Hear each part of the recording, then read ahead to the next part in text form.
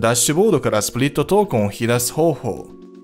デフィユーのプロダクトでウルティマの報酬を受け取るためには、スプリットトークンをスマートウォレットアプリのウォレットに引き出す必要があります。スプリットトークンを操作するためには、ウォレットをアクティブにすることを忘れないでください。アクティブ化するには、単純に1スマートウォレットに送金してください。それでは、スプリットトークンを引き出すために、デフィユーのウェブサイト上のダッシュボードを開きます。左上の最上部に、 payout というボタンのあるスプリットの利用可能な残高が表示されます。このボタンをクリックしてください。トークンを引き出すには二要素認証を有効にする必要があることにご注意ください。スプリットウォレットのアドレス、アドレスはスマートウォレットからコピーできますを貼り付けるウィンドウが表示されます。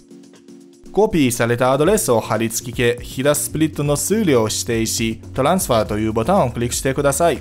次に二要素認証のコードを入力するためのウィンドウが表示されます。Google Authenticator アプリを開き、アプリで表示される現在のコードを対応するフィールドに入力してください。正しく入力した場合、トークンの引き出しリクエストが作成されたというメッセージが表示されます。トークンは指定したウォレットに間もなく届きます。ペイアウトの履歴は Payouts History セクションで確認できます。質問がある場合はサポートにお問い合わせください。喜んでお手伝いいたします。ご成功を祈ります。